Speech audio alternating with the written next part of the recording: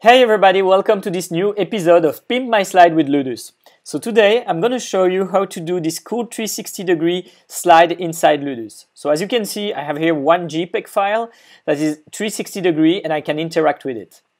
To do that, all you need is the 360 pictures and to get those pictures, what you need is a 360 camera. And for this example, I've been using uh, the Ricoh Theta 5. There is no Photoshop. I just take the picture straight from the camera. Then I go to VeeR.tv. You can create a free account. In my case, I already done it to go faster. So when you log in on the VR account, this is what you see. All I have to do is to click on the button upload. Now I'm gonna pick my file, so I'm going to take this picture. I already have a preview of my 360 picture here. I can set the orientation. I can select where I want it to start. So for example, I want it to start it like this, set, done.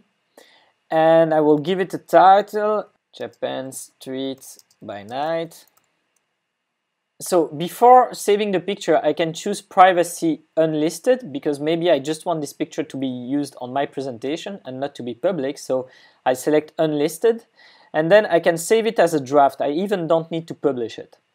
And now you can see that VeeR is uh, showing that picture on my upload file. So I click on it and I have a preview of the page.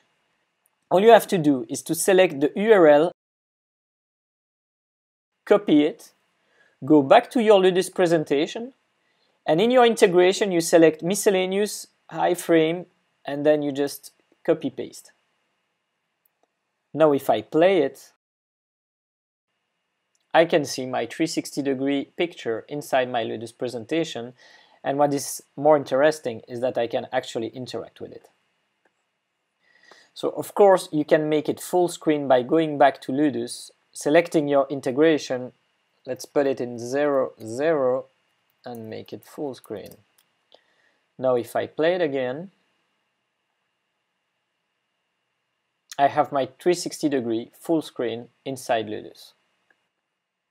Hit the like button if you enjoyed this video and subscribe if you want to learn more. See ya!